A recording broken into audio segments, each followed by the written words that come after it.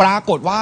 คุณหมอกับพยาบาลฮะเห็นนะคุณผู้ชมฮะมีอุบัติเหตุเกิดขึ้น ชาวบ้านชื่นชมเลยฮะเพราะคุณหมอกับพยาบาล แบกอุปกรณ์วิ่งข้ามถนนจากคลินิกฝั่งตรงข้ามเลย มาช่วยชีวิตคนเจ็บที่ถูกรถชนครับ ลองไปดูคลิปครับคุณผู้ชมครับเนี่ยฮะเป็นเหตุการณ์อุบัติเหตุนะครับ รถกระบะชน รถจักรยานยนต์ เกิดขึ้นบนถนนสุขุมวิทเข้าเมืองพัทยาจังหวัดชลบุรีครับที่เกิดเหตุพบนายสุวรรณอายุ 52 ปี สภาพนี้นอนจมกองเลือดหมดสติไม่หายใจครับ กู้ภัยเองก็ช่วยการปฐมพยาบาลก่อนทำการ CPR ขณะนั้นคุณผู้ชมฮะอุบัติเหตุมันไปเกิดตรงไหน มันไปเกิดอยู่ที่ฝั่งตรงข้ามของคลินิกกรุงเทพพัทยาสาขาบางเสร่ฮะก็มีคุณหมอปาจารีเวียงแก้วเป็นแพทย์ประจำคลินิกที่นี่แหละครับ พอคุณหมอทราบข่าว คุณหมอวิ่งมาพร้อมกับพยาบาลเลย แล้วก็นำอุปกรณ์ช่วยชีวิตฉุกเฉินนะ รีบช่วยเหลือผู้บาดเจ็บทันที ก่อนทีมผู้ชีพเนี่ยจะเข้าสับสนแล้วก็นำตัวส่งโรงพยาบาล ท่ามกลางประชาชนที่มุงดูเหตุการณ์เพราะว่าคุณผู้ชมฮะคือเอาหลักคุณหมอเนี่ยเป็นคุณหมอคลินิกก็จริงยังไงก็ต้องส่งโรงพยาบาลอยู่ดีค่ะแต่ถามว่า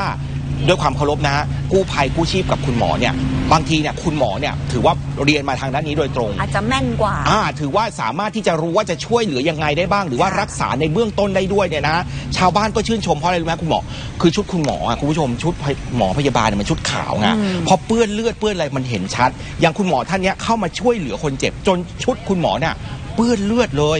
ขณะเดียวกันครับคนขับกระบะครับที่ชนเนี่ยนะฮะชื่อว่านายวิทูลอายุ 40 ปี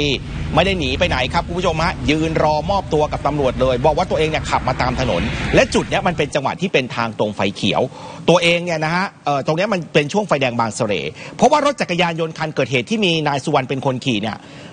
อันนี้ตามคำอ้างนะฮะคนขับกระบะบอกว่าคนขี่รถจักรยานคือนายสุวรรณเนี่ยเปลี่ยนเลนตัดหน้า ตัวเองก็เบรกไม่ทันพุ่งชนท้ายรถจักรยานยนต์อย่างแรงครับอะแต่ว่านี่คือคำกล่าวอ้างของคนขับกระบะนะฮะ แต่เบื้องต้นตำรวจก็เชิญตัวนายวิทูลคนขับกระบะ แล้วก็คนเห็นเหตุการณ์ไปสอบสวนอย่างเด็ดอีกครั้ง เพื่อดำเนินการตามกฎหมาย เพราะคุณผู้ชมฮะพอบอกแบบนี้ว่ากระบะกระบะเนี่ยชนเพราะเบรกไม่ทัน เพราะว่าจักรยานยนต์เขา